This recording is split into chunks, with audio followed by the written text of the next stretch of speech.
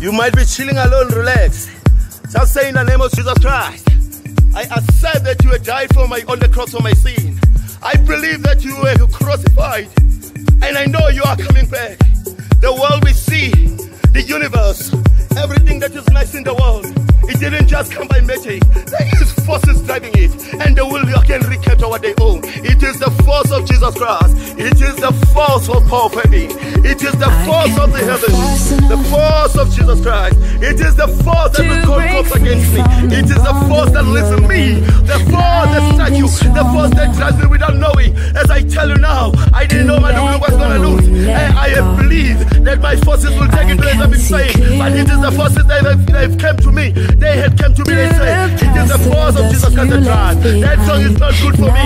You have seen it in the video. You have started me to advertise in the group. Why? Because it is the forces of forbidden that have tried to promote it. Because